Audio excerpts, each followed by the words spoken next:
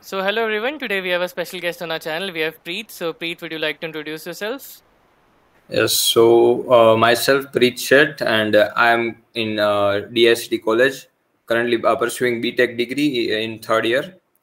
And also, I'm a CodeChef. Uh, I'm six star in CodeChef and uh, candidate master in Codeforces. Yeah, so he's here to talk about competitive programming. So, Preet, tell us about your journey into competitive programming, like your journey of becoming a six stars on CodeChef, and how should one practice competitive programming according to you? So uh, I started uh, competitive programming uh, after December 2020. So it's been around uh, one year and eight months. Okay. So uh, at starting for uh, three to four months, I was just aware about only uh, one coding site, which was HackerRank, Mhm. and in that uh, we have one algorithm section. So uh, in that we, I I get some bit knowledge about all these uh, basic things like strings, sorting, searching, uh, DP, trees, graphs, etc. Mhm. And it helped me a lot uh, when I just uh, started uh, giving contests in uh, CodeChef. So mm, so after that I started giving uh, contests in uh, CodeChef regularly, and also started uh, giving contests in uh, Code uh, Codeforces also. So uh, at that time means like it happens that I just stuck on some uh, problem. So I just went to its uh, editorial and then uh, from there i just find some new topics like uh, segment tree fenwick tree and uh, this like z function prefix function and that stuff so after that uh, means like i just found that uh, to became means like uh, to increase my level so i should i should do some uh, more uh, preparation in uh, these theories Yeah. so i so after that i just started uh, means doing uh, more work on these theories and i made my own uh, such uh, file like means like in which i had stored my uh, snippets which i had Mhm. made like if i want to uh, get segmented then from that Yeah. i can just get it and similarly for so many uh, other theories other Mhm. theorems and uh, other data structures Mhm. which are which are very useful I got to know one thing like uh, if you want to be uh, six star in CodeChef, so first of all you have to solve some more difficult problems which are in CodeChef. So you will get it in Code Forces, right? Mhm. So you should first solve uh, division 2 uh, up to C problems, and uh, it will be uh, good if you uh, solve D also division to D. So if you are able to solve this for first four questions, then uh, at that stage uh, you are you are um, is able to become a six star. Okay, so basically, what you're saying is your strategy has been like you were solving problems, and whenever there was a problem you couldn't solve, you learned the topic which was there in the problem, you learned the Yes. theory, and then you learned that topic and that theorem, right? Yes. So that brings me to one problem that a lot of competitive programmers face. So suppose they're not able to solve a problem, so they look at the editorial, they look at the solution, and still they're not able to solve. They still they're not able to understand like how to solve the problem. So what advice would you give to people if they're not able to understand the editorial? Okay, so one thing they can do is like they just uh, uh, hold on that problem. Is like they just uh, keep uh, means, uh, means uh, they just started another problem hmm and uh, after some time like after one or two months they again reach that problem and then see that if if it is able to means like after one month he got some another knowledges right Yeah. so means like uh, again if he reads uh, that editorial and then uh, it would be means like possible that he could Mhm. understand that So you said that you learned the theory and theorems of the topics which were in the problem, so you didn't understand. So where did you learn those? So suppose there was a topic segment trees in a problem. So where did you learn segment trees for that problem? Where did you learn those theorems?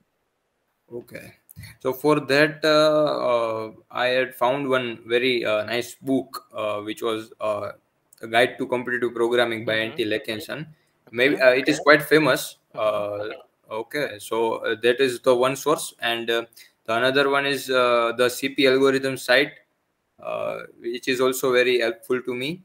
And also uh, the main, the segment tree or wo sab it was, I just found that in Codeforces blogs. So that uh, from because in the book i just found the theories but to get the snippets and that stuff so i will found it from Codeforces blogs get the snippets and uh, the cp algorithm side Okay. So basically for learning the theorems, you preferred the website CP algorithms and the blogs on Codeforces, right? Basically, Yes. written material instead of video material. maybe uh, that's uh, means like personal choice like Mhm. uh, someone uh, someone understands through videos Mhm. but uh, means like sometimes i just i also need some uh, video material means if the topic is quite very difficult then i just need to read it many times and uh, also see some videos for it Mhm. Okay, so if someone is starting competitive programming right now, someone wants to jump into competitive programming and achieve high ratings, what advice would you give to people on how to start competitive programming? So if he just started, uh, then I would suggest him to uh, first uh, read some uh, logical, uh, first uh, solve some logical puzzles rather than. CP, but Mhm. uh, other logical puzzles like you can found it in InterviewBit in Mhm. puzzle sections. So it would boost your, uh, it will build your logic. Yeah. So when after you uh, do this, uh, I mean after you do CP, then it will be very helpful Mhm. right so first of all do these uh, puzzles and then just start uh, then just uh, do what whatever i just suggested it's like like the uh, strategy that you mentioned, right? yes yes yes Okay. through topic wise it's Yeah, yeah, yeah. Like learning the topic from the problem that you couldn't solve, right? Yes yes, yes. So a lot of problem that a lot of people face this problem in competitive programming that they're stuck in a particular level, right? You see a lot of people stuck at newbie level, pupil level, two star level, three star level, and they feel like they're not able to progress to the next stage. So what advice would you give to those people? Should they work harder? Should they work more? Like what advice would you give?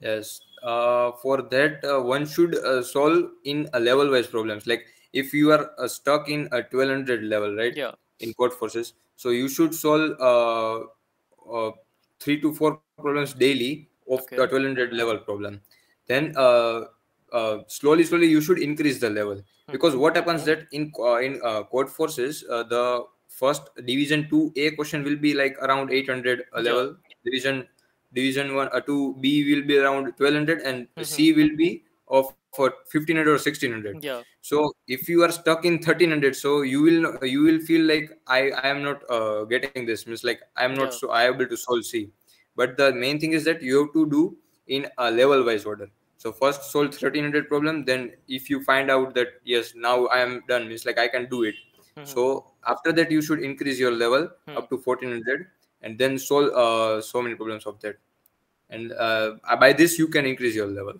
Okay, so the final thing I want to ask you is how do you avoid the loss of motivation? So a lot of thing that a lot of people face this is that they lose rating, they're trying to get to a particular rating and they end up in a contest where they lose a lot of rating and they end up getting demotivated and it just goes further below and below. So how do you avoid the loss of motivation for doing competitive programming? Okay, so uh, one thing is that don't get panic uh, if your rating goes down because you know what is your, I mean, it's like what is your level, right? And uh, uh, after that, uh, there is no fear. Like if one time your uh, uh, rating Mhm. decreases, then uh, possibly the probability of again decreasing will become less because Yeah. uh, yes, right. So don't get panic, and you should feel like uh, like a Kyle share, right? Yeah. It's like Like and Angel then- and yeah. yes so after that uh you you will uh means like you have a desire like i have Yeah. to do something uh means like I, now I, will- I will reach this To get the rating back. yes getting back and better than that right Mhm. Okay. So I guess that pretty much covers everything. So thanks a lot, Preet, for coming on my channel and sharing your journey with me and my subscribers. So thanks a lot. uh, thank you so much for inviting me